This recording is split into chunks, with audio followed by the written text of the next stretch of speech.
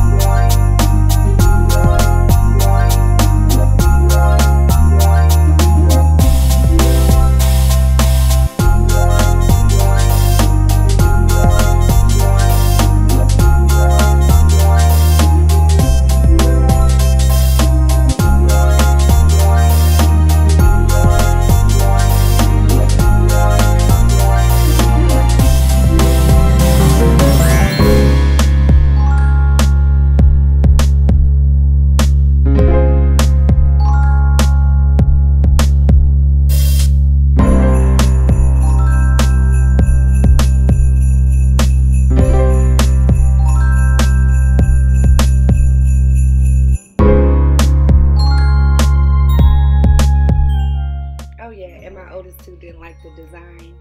I just changed it up a little bit.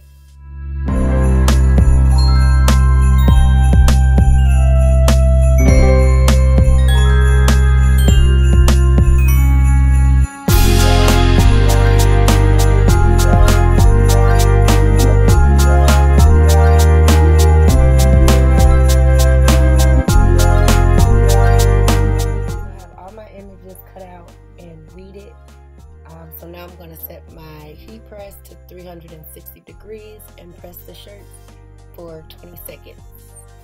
Is warming up.